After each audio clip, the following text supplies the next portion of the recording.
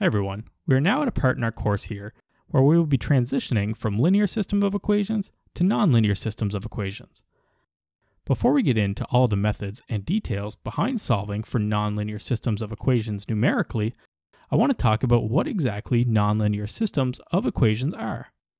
So, remember that linear systems of equations are just summations of either constants or constants times variables.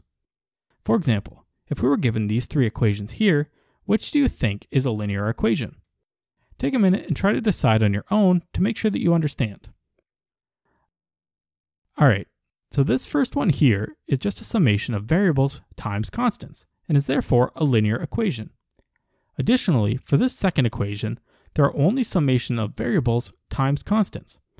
However, for equation 3 here, we do have a summation of variables times constants, or just variables. However, the last term is a squared variable, and this makes this equation nonlinear. Any terms that violate our constant times a variable, or just a variable rule, makes our equation nonlinear. So, what exactly does this mean to solve a nonlinear system of equations, or just a nonlinear equation?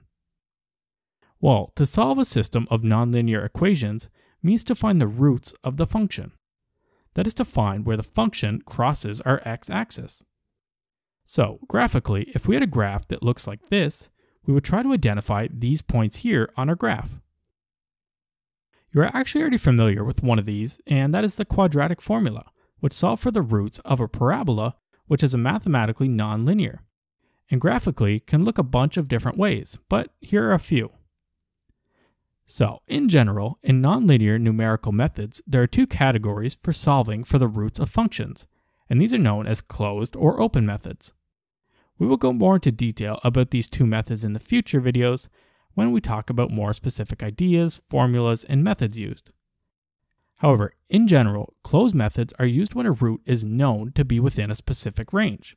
However, if you do not know that there is a root within a specific range you specified, or if there is more than one root in the section, then you will not get an answer, or at least not one that makes any sense. The other method is called an open method.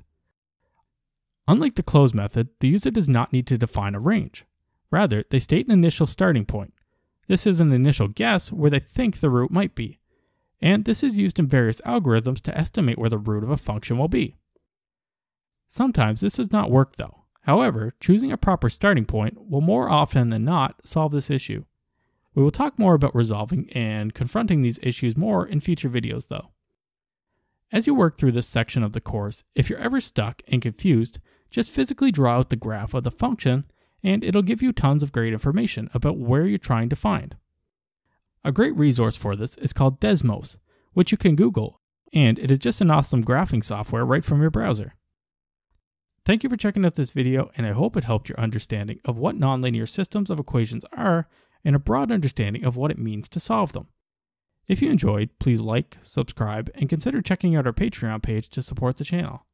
However, if you have any comments, questions, or concerns about the information I provided in this video, please leave a comment down below and I will do my best to address your concerns.